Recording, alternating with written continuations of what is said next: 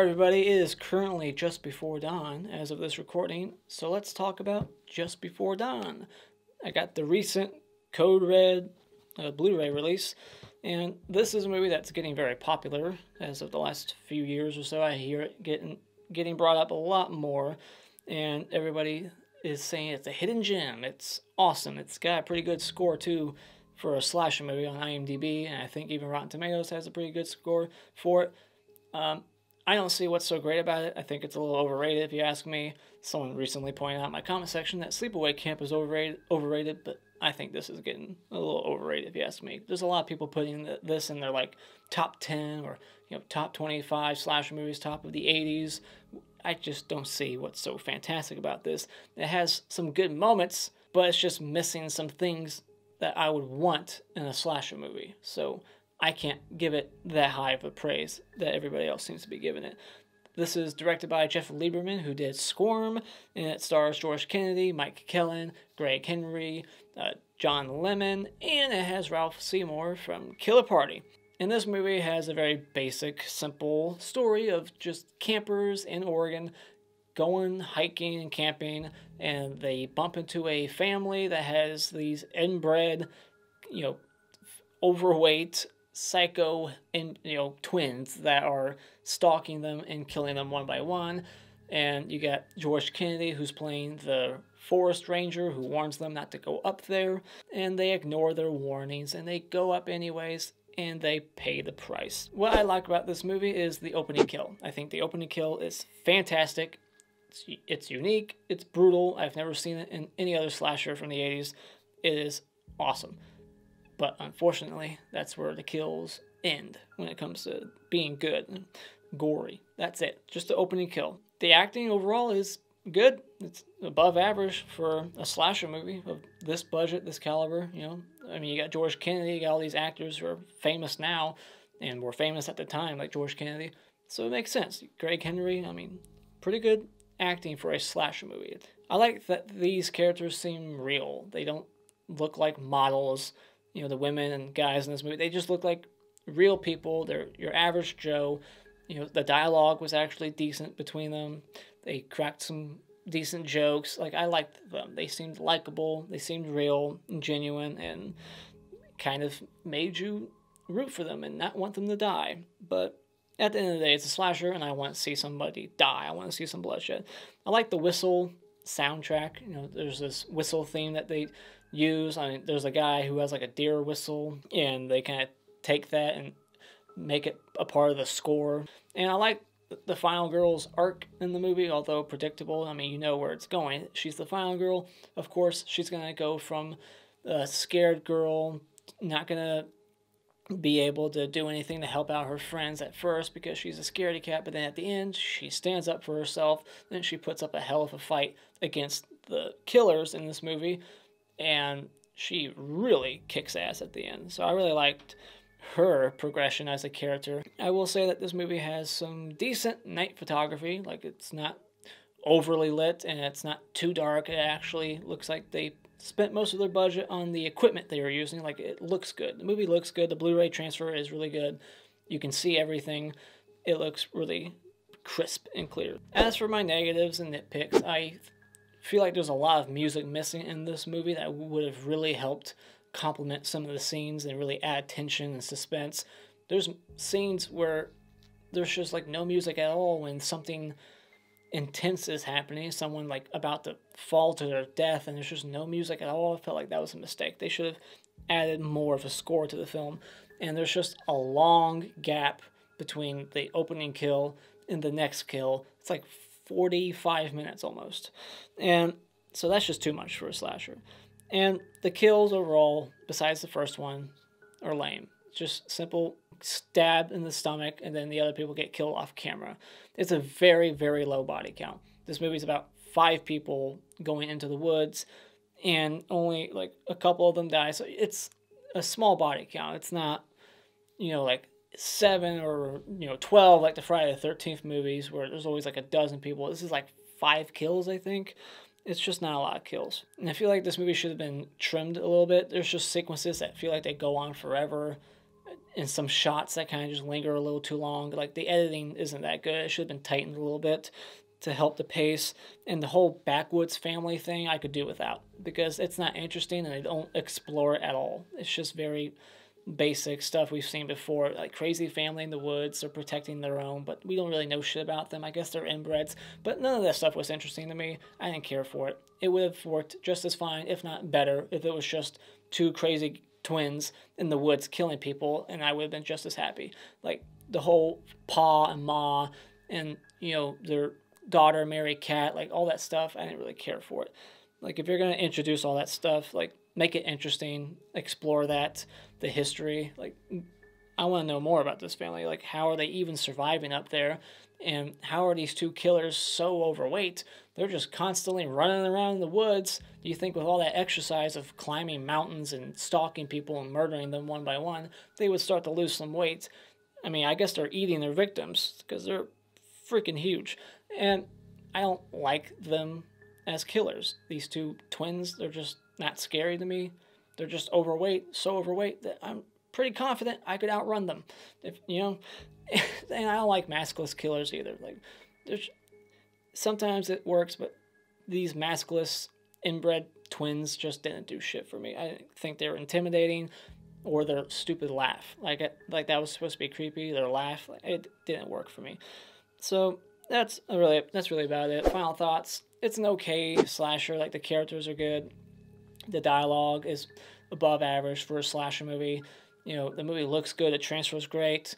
Um, the ending, the way things go down in the last five minutes, really saves the movie because it's out there. Like I don't want to spoil it right here, but what the final girl does is pretty kick ass. It has a really good final girl. Um, some good performances for a slasher, and I guess it's worth checking out if you're a slasher fan. So when it comes to Just Before Dawn, consider streaming this or renting it at Redbox. Alright, so this movie opens up at dawn, and we see a couple of hunters, one of them being Mel from Sleepaway Camp, and his uh, nephew gets a machete through his crotch out his asshole. And we see these twin girls in town, and we never see them again. Like, who are they? Why weren't they ever shown again? They're driving by, and the uh, Ralph guy, he sees them. He's like, why are there so many twins around here? Those are the only twins we see at that moment. So I guess there was a lot more before that we didn't get to see. Um, so then they hit this deer, and the way that whole sequence was shot was kind of cheesy. Like the deer looked so fake the one second you saw it, and then the deer's just gone. Where did it go? Did the killer grab it and take it off the road? And is that what they're eating? Is all the deer out there? And so we get this ranger played by George Kennedy, and he's basically Crazy Ralph, and then Mel from Sleepaway Camp, he becomes Crazy Ralph. So we got two of those characters in this movie, warning them like you're doomed if you go up there. And so Mel, he just keeps calling the the inbred guy uh, a demon for some reason. Like just because he killed his nephew, he's a demon automatically. That doesn't really make sense. I guess he's a preacher. You know, very religious or something. He was in that church in front of the podium acting like a preacher. Um, but I like that he sees the I keep wanting to say cannibal, but the like inbred hillbilly guy jump onto their RV and he starts like laughing about it, like serves you right for not helping me out, and and which is a good thing because think about it, if they picked him up and took him wherever he wanted, things could have ended a lot differently. It's because they didn't pick him up that he went to go tell George Kennedy about them, and that made George Kennedy go up the mountain to find them and help them at the end. So that was a good decision on their part. They don't think anything of the RV shaking when the inbred guy jumps on their RV. Like the whole thing like fucking shakes from him jumping on it. And there's like, oh, what was that? Who cares? Like, I would want to investigate something like that. There's a lot of that in this movie where they just seem to like let things go and drop it and not investigate further. And that's bullshit. And then we get this campfire scared, just like in The Burning, Friday the 13th. But again, they don't think anything of it. They hear a noise in that direction, and then their two friends come from behind them and scare them. And clearly, they heard noises over there and things moving. They saw somebody out there, and they're just gonna drop it and I ask, like, well, if you're from if you just came from over there, who was over there? And then later on in the river or you know whatever, at the waterfall, the girl gets groped by the killer. She thinks it's her boyfriend, and she sees her boyfriend over there, and she starts panicking, but then just drops it. She's never like, well, you know, what? Who was that grabbing me? They never investigate further. It's like at that point, there's somebody out there. You need to get the fuck out of there. I love how when he's going across the rope bridge, he keeps telling them like, "Don't look down, don't look down." As he's looking down, it's like you kind of need to look down so you know where you're stepping. And you couldn't pay me to walk across that bridge. It's one of those bridges where it's just three uh, ropes going across. One that you stand on, and the other two you hold. And that's dangerous as fuck. I wouldn't walk across that. Megan, the redhead, she just takes her top off in front of all her friends. Now, it's not like it's just her and her boyfriend. Like the other three are there. Her boyfriend's brother is there. She doesn't care. And another thing about that scene where he's touching the girl from underneath the water, the killer has like Ethan Hunt from Mission Impossible abilities to hold his breath for like five minutes. He's under the water for quite some time and somehow manages to sneak on out of there right after without being seen in a bright orange vest. Bullshit. Then, you know, Mary Cat, the twin girl, whatever, Like, she's not a twin. They, they should have done that. She should have had, had a twin that was evil, and then that could have been like the end twist at the end where when she comes out of the bush and it's like a fake out scare, like, oh, it's just her. It could have been like her evil twin we never met, and he she kills Greg Henry, and then the good twin comes out, and it's like another reveal. Like, oh shit, she's got a twin also. You know, they could have done something like that, but instead they gave us an unnecessary fake out scare in the bushes, like unnecessary. I love when the crazy family arrives and they shoot the radio because they were playing the worst song ever. It was annoying as fuck, so thank you for shooting it. Then the guy falls off the bridge I guess he bumps his head and dies that way, and then later on his body like falls right at the other two people's feet as they're like having this tender moment together. He kind of like breaks up the tension. Surprise! Here I am, dead. He tries to give him CPR right away, so at least he tried. We get another stupid fake out scare where the redhead somehow walked all the way across the creaky wooden floor church to sneak up on Ralph, and he didn't hear her walking up to him. I call bullshit. But then they just started having a photo shoot in the cemetery, and those tombstones look really, really fake. And but why? Like that scene just feels random. Like why are they taking pictures of the cemetery, having a random photo shoot? And their idea of like a joke is to start kissing each other. Like, oh man, your brother's gonna hate me when I start kissing you. Like they think that what's his face is around the corner, her boyfriend, and she's like, let's do something to piss him off. And he just starts kissing his brother's girlfriend. So now I want him to die because that's a dick move. And then I guess this is the moment where it's revealed that there's twins. And they don't really play it up like a big, uh, you know, twist. It's not like a real big shock. But whatever. So it was just, I guess this this was the moment where you realize that there was twins.